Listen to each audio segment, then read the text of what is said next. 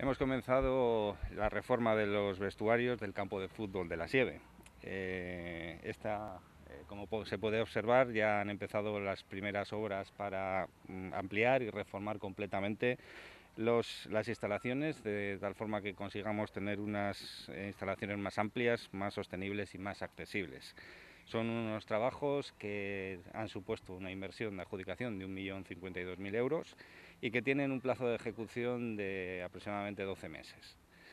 La reforma del campo del fútbol de la Sieve fue uno de los compromisos que adquirió la alcaldesa Maya del Campo y dentro del proyecto de renovación de estas instalaciones que comenzamos con, el césped hace aproximadamente un año, eh, estaba también previsto la reforma de estos, de estos vestuarios, no solo de estas instalaciones, sino también de todas las instalaciones que tiene eh, Baracaldo Quirolac, donde ya llevamos invertidos más de 13 millones de euros y donde nuestra prioridad pues desde el principio y dentro de las eh, disposiciones presupuestarias que tenemos ha sido modernizar esas instalaciones.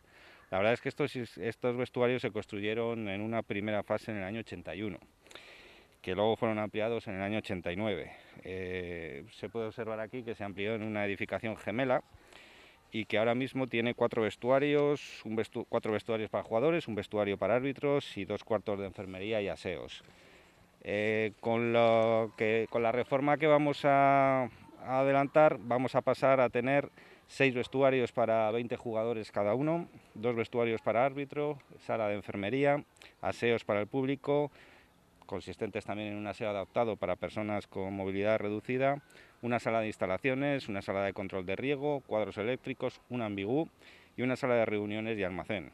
Con esta actuación, como decía, eh, reformamos unas instalaciones que están bastante obsoletas, pero que también se amplían con una altura más el edificio. Tendrá una construcción como escalonada hacia arriba con duplicando los metros cuadrados. Antes eh, aproximadamente tienen 220, 230 metros cuadrados, pasan a 460 metros cuadrados.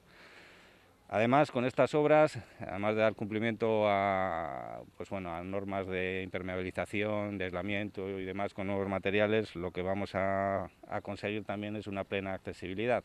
Las personas, los usuarios y usuarias con movilidad reducida van a poder acceder a las instalaciones por la parte de arriba, eh, a nivel de acera de, calle y eh, junto, al, junto al Instituto de Secundaria de Cruces. Esta obra se va a realizar en dos fases. Comenzamos con la ampliación en la parte que, veis un poco libre aquí detrás mío. Eh, esa primera fase lo que hace es construir ese edificio en el que se amplía y la segunda fase lo que haremos será reformar las instalaciones existentes completamente desde el punto de vista tanto de higiene, salud y protección del medio ambiente. Mm, lo que conseguimos o lo que pretendemos conseguir es esas instalaciones y dar por dar digamos por finalizadas las obras del campo de la Sieve que la verdad es que necesitaba también su, actualización y su modernización y su reforma integral con el campo de fútbol, el vestuario de los chiquis que ya también se, arreglaron hace un tiempo y finalmente con los vestuarios. Ahora muy demandada la reforma de la SIEB en general, sobre todo porque tiene mucha masa social este campo, ¿no? Desde los más chiquis juegan un montón de equipos diferentes. Sí, la verdad es que era una demanda, como dices, eh, bastante eh, reiterada por los vecinos, vecinas, por los usuarios, usuarias, porque hay muchos equipos jugando aquí en estas instalaciones, porque la verdad es que el césped estaba bastante obsoleto, porque los vestuarios, como digo, también están bastante obsoletos y entre este campo y el campo de los chiquis, pues la verdad es que mueve muchísimos equipos. Actualmente aquí en el campo de la Sieve entrena el Gurucheta y entrena el Baracaldo Club de Fútbol.